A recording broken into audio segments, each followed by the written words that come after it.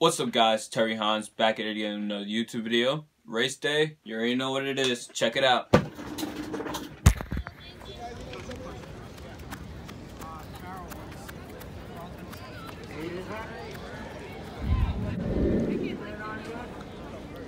on hold.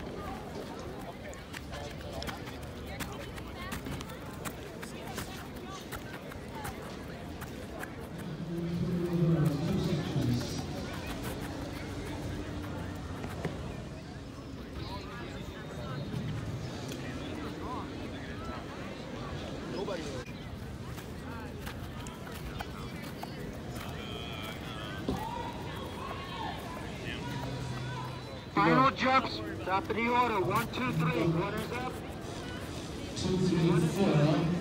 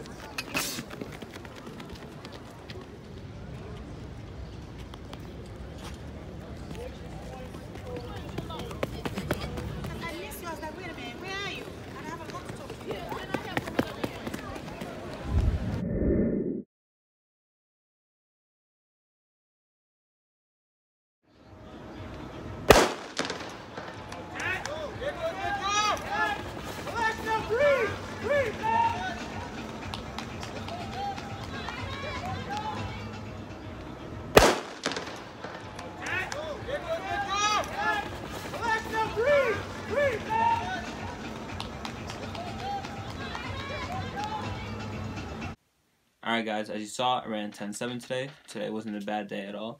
I still got to work on driving 30 meters into the race instead of driving like around 15 to 20 meters and then popping up. I still got to work on my drive phase.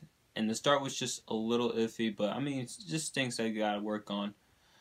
Uh, plus my finish, when I was like, when I took charge in the race, I missed, uh, I misplaced two steps with my knees like buckled in like to the side, which means I'm, I'm not toe striking. So once I missed those two steps, I saw three guys try to catch up to me, and I just completely broke down form. And I think I could have ran the 10-5 low today if I would have kind of fixed that. At least 10-5 low, 10-5 mid, around there.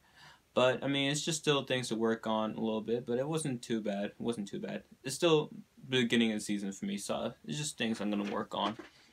Also, I scratched out of the 200 because uh, during the 100 because in the middle of a race when my knee buckled and when I was down toe striking, I felt my knee after the race, so I just decided to scratch it. So my next race, I'm probably gonna run the two, hopefully, if everything goes well. But if not, um, you'll see me running the 100. All right, but thank you guys. Catch y'all.